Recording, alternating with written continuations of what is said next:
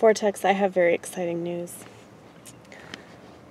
I was doing the right thing, putting carts away in the parking lot, even though it's not my job to do that because I don't work at Kroger anymore because Kroger's communist.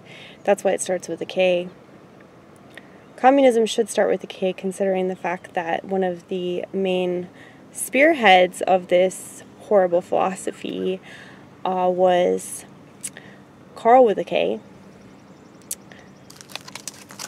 He also uh, invented the word capitalism, which would, should start with a K. I don't even know why we call it capitalism. You know? It really doesn't make sense that we call it capitalism.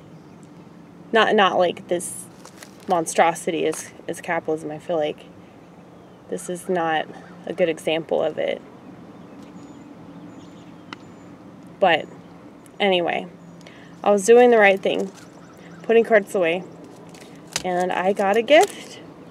This was in one of the carts.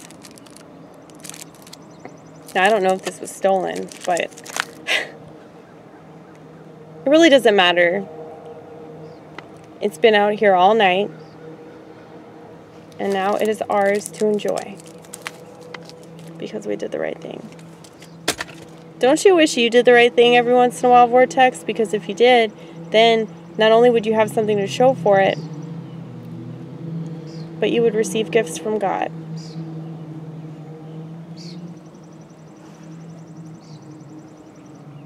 There's a lot of cat hair on this microphone.